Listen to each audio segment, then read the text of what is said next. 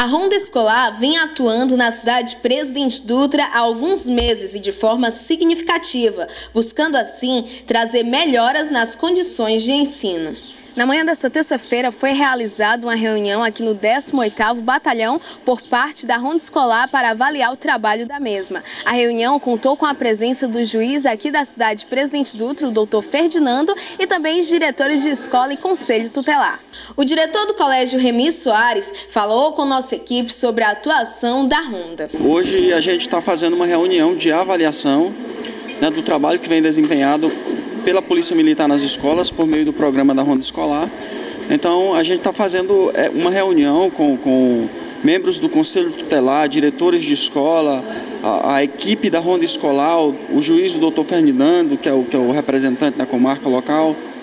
E a gente está fazendo um, uma, um levantamento é, de como como foi o andamento do trabalho da ronda escolar, se há uma necessidade de continuidade do serviço, se há uma continuidade de ampliação do serviço.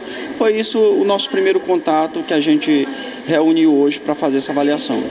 E como ficaram as estatísticas após a reunião?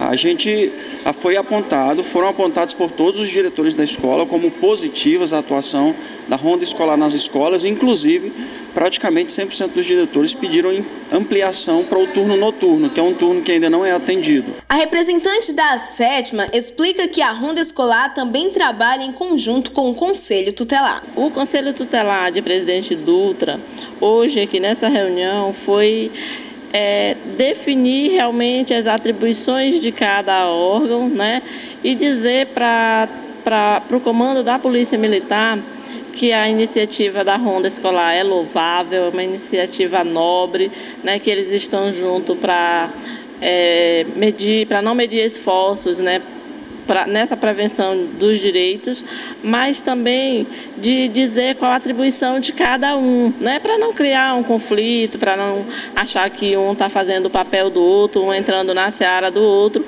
mas sim para estreitar os laços e ombrear essa luta que é de todos. E hoje o que ficou definido por parte do Conselho aqui na reunião?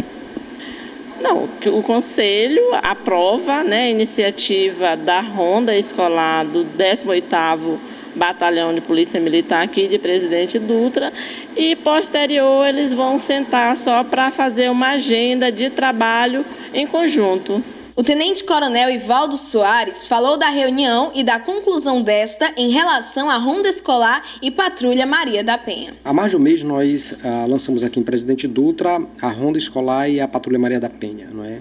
Isso tudo no sentido de fortalecer a autoridade do professor, a tirar de próximo ali da escola traficante, não é? É, fazer palestra com os alunos. Né? E com relação à Maria da Penha, foi justamente é, visitar essas mulheres né, vítimas de, da, da, violência. Ah, o Maranhão é o quinto estado né, da federação com maior índice de violência contra a mulher. Então, a Polícia Militar, com a sua missão constitucional é, de é, não poderia ficar alheio a essas situações que vêm acontecendo. Não é?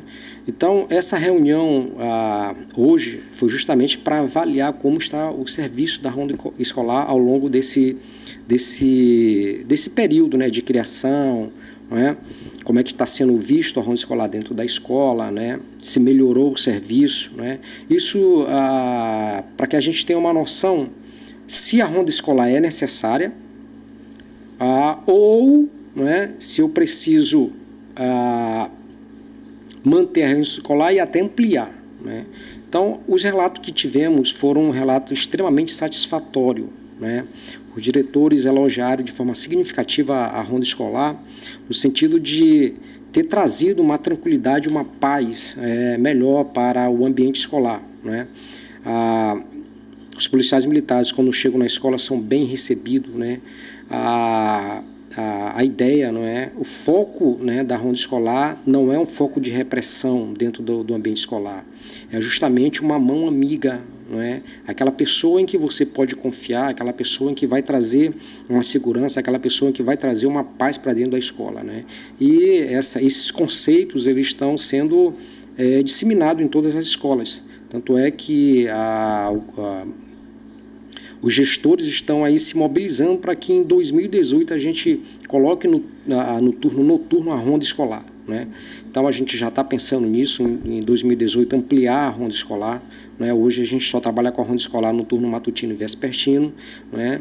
O, o, certo é que essa, é, essa reunião com os gestores escolar, o conselho tutelar, o juiz e o presidente Duta foi extremamente proveitosa né? para que a gente pudesse ter uma noção né? do, do, de como está o nosso serviço com o público para que a gente direcionou a, a ronda escolar.